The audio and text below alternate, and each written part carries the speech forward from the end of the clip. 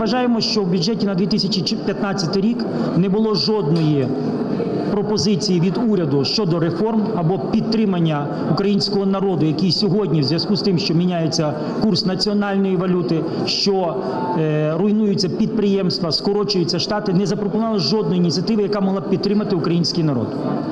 Коли ж народні депутати розглянули насправді, що було проголосовано під тиском уряду, і зрозуміли, за який бюджет вони проголосували, уряд запропонував, що 15 лютого будуть внесені зміни до бюджету на 2015 рік. Протягом місяця наша фракція волю народу пропонує ряд законопроєктів, які необхідно внести в цей бюджет, зміни до бюджету, для того, щоб підтримати найменш захищені. Е, найменш захищене населення України. Але на превеликий жаль, уряд не чує наших пропозицій. Нас нами сьогодні зареєстровано ряд законопроєктів, які ми вважаємо вкрай необхідно прийняти в зв'язку з тим, що ми чуємо, а в нас всі народні депутати-мажоритарники, що ми чуємо на округах, коли зустрічаємося з людьми. Перший законопроект це 1031-2. Це так мовити часткова відміна пенсійної реформи. Ми пропонуємо, щоби жінки, які досягли віку 55 років, мали право піти на пенсію у випадку, якщо в них стаж не менше 15 років. Ви знаєте, що декілька тижнів тому Верховною Радою був проголосований закон про те, що можливість дострокового виходу на пенсію звільнених з роботи жінок, які мають стаж не менше 30 років. Але президентом був заветований цей законопроект. Наша фракція наполягає, щоб ми повернулися до нього, і також до законопроекту 1031-2. Нашою фракцією також запропонований закон щодо 1302. Він е, стосується на менш захищених е, верст населення. Це сімей, які не мають, де чоловік і жінка не працюють. Є що стосується соціальних виплат. Кожний народний депутат, який обирався по округу, знає, що сьогодні є така норма: сім'я, яка чоловік і жінка не працюють, але мають 65 сотих землі, не мають права на соціальні виплати. У мене виникає просте запитання до урядовців, які приймали цю норму: з яких пір 65 соток землі стали дохідною частиною українського народу, що може дати або гарантувати сім'ї виростити або поставити на ноги троє дітей. Ми вважаємо, що це дискредитивна норма, її треба відхилити найближчим часом. Так само ми сьогодні зареєстрували закон щодо індексації мінімальної пенсії. Уряд сьогодні пропонує мінімальну пенсію 960 гривень індексувати, абсолютно виключивши, що є нижче мінімальних пенсій.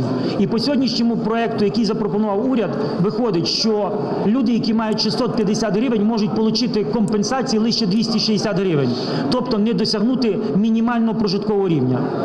У наших депутатів нашої фракції виникає просте запитання: а як можна прожити на 960 гривень?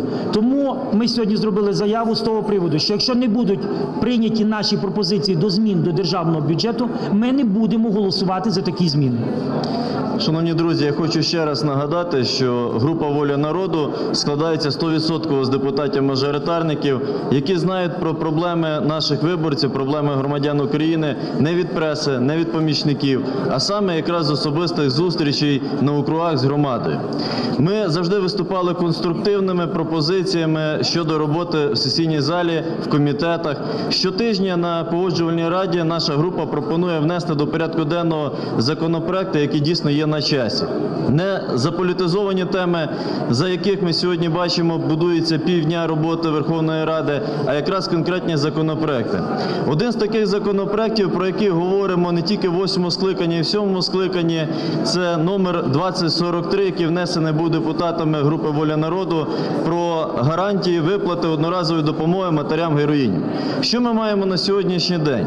Що мати, яка народила 5 і більше дітей, от не має змоги отримати статус матері героїні і одноразову матеріальну допомогу в короткі терміни або назвемо їх в реальні терміни.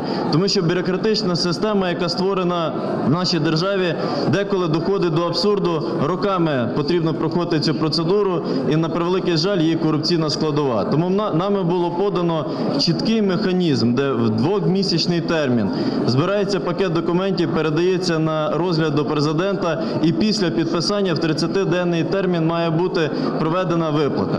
Також є е, такий казус, коли регулярно звертаються до нас матері героїні, які не в змозі отримати взагалі статуса по причині, якщо е, доросла її дитина, одна з дітей, мала судимість. Ми рахуємо, що потрібно сьогодні чітко регламентувати позиції, де чітко вказано, по яких причинах може отримати або ні, і в короткі терміни отримати.